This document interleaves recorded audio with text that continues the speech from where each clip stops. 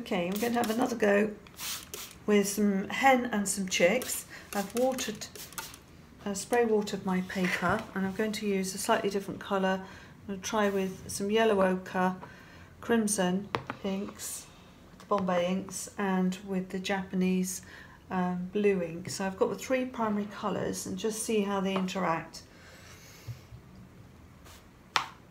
So first off I'm going to throw in a rough drawing of the chicken, the hen itself.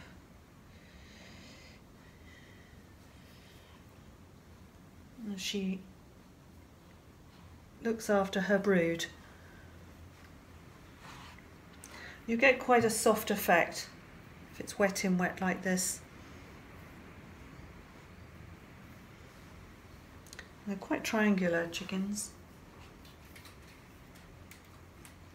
And the legs are down here somewhere.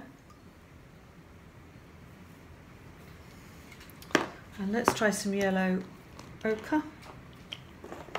Making sure the brush is well rinsed in between, otherwise I'll go green very quickly. And I'm just going to blob in. I'm going to have to drop it on the page, I think. So it becomes a sort of blush where the chicks will appear. Let's put a load of chicks there. And then we'll draw back in in a minute. There's quite a lot of water on head here. And pull some off. And I'm going to come in with my stick and my ink again. And structure the rather loose ink blushing that's going on. You can also draw in some of the feathers, which is quite fun. And then there's a very soft bit comes out here. So let's loosen it up a bit. Her legs should be down here somewhere.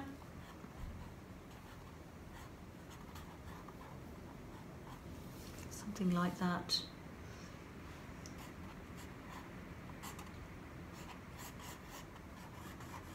There's the drumstick. Sorry for those vegetarians of you.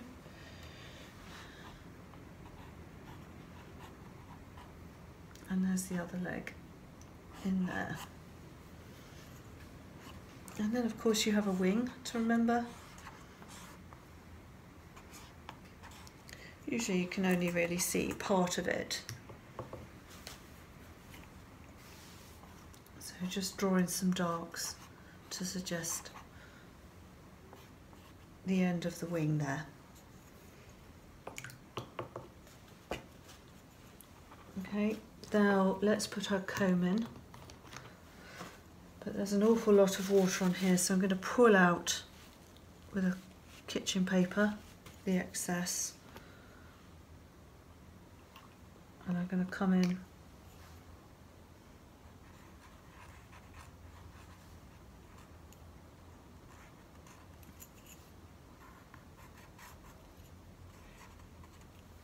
just roughly draw in what's happening at the top end.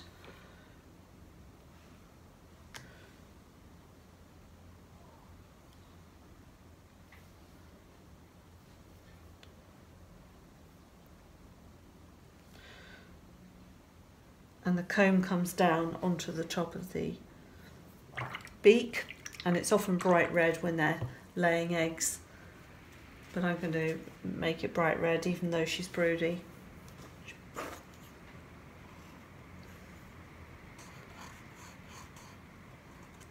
A little bit of dark for the eye, so if I can put that in now, probably lose it a bit.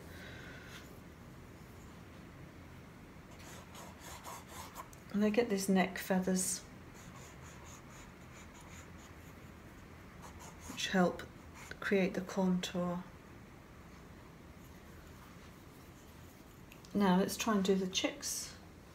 These will probably go a little green. tend to do them in straight lines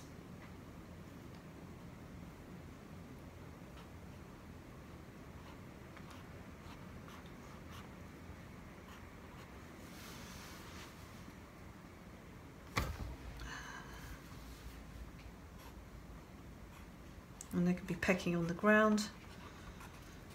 Copying mum, of course.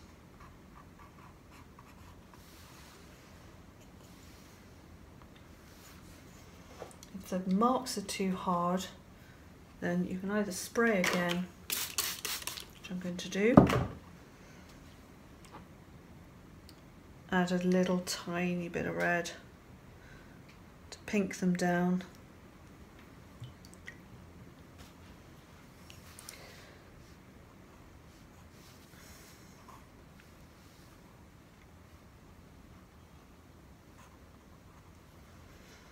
So this one can be tucked in behind there, overlapping that one. They really haven't got much of a tail at this age. Oops, that's too strong. Pull a little bit out quickly. There's a whole puddle on the page here.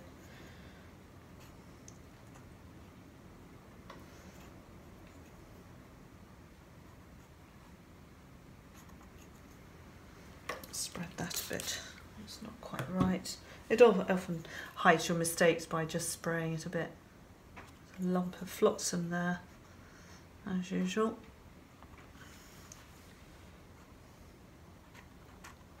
This one standing under there, going under mum. Let's take a bit of that out.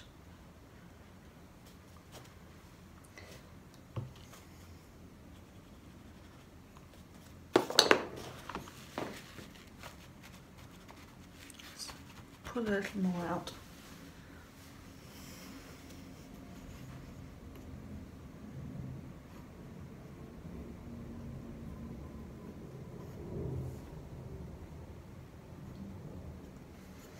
And a little more pink. I love the way this, um, the colour is just running everywhere here. So let's put some pink. It's crimson actually, but it is on the pink spectrum. So we're tying in the pink, or the red if you like, down into the legs. And that will help unify the picture. Maybe you'll just put a little on her chest there. Warm her underbelly up. That's where she keeps the chicks, of course. Some lovely marks coming in here. Of course, you don't have to draw with the blue. You can draw with the red or the yellow with the stick. Doesn't matter.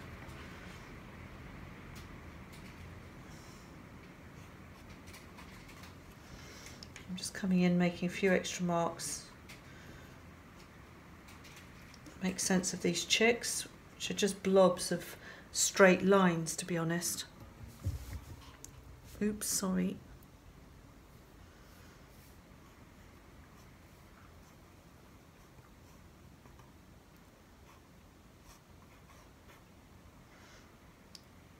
this one can be scratching around Okay, let's just move that a little. There'll come a point when you need to, to dry. I'm going to scrape across to give some sort of grounding.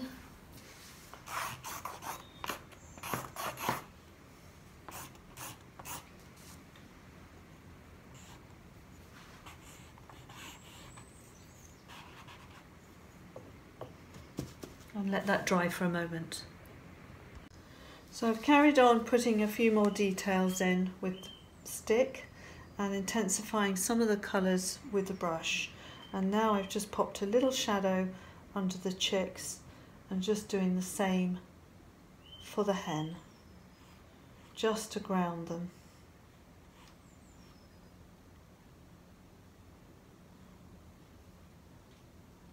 And let's just loosen that off.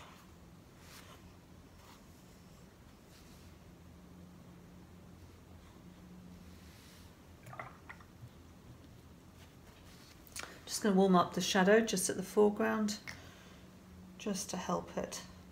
And maybe just spray it this way. A few splatters won't go amiss. Oops, that's a bit too much. Again, let it run. Not too dominant, I just want them, I didn't want quite so much as that. So I'm just going to dab them out with a bit of tissue.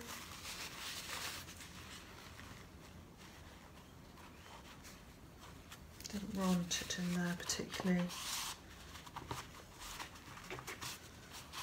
There you go. And then tiny, tiny bit just to hold that space. There's quite a big space here doing nothing, so just a few flecks.